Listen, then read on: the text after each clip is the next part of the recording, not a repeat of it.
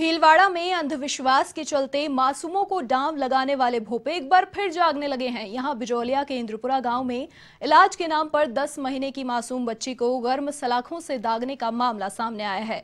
इस दौरान मासूम बालिका को गंभीर हालत में महात्मा गांधी चिकित्सालय में भर्ती करवाया गया, जहाँ उसकी हालत गंभीर बनी हुई है। वहीं चिकित्सालय के पीएमओ डॉक्टर अरुण गौड़ का कहना है की इंद्रपुरा ग्राम निवासी इस बालिका को निमोनिया था, जिसे अंधविश्वास के चलते परिजनों ने गर्म सलाखों से दगवा दिया और इसके चलते उसकी हालत ज़्यादा खराब हो गई है और फ़िलहाल बच्ची का इलाज जारी है।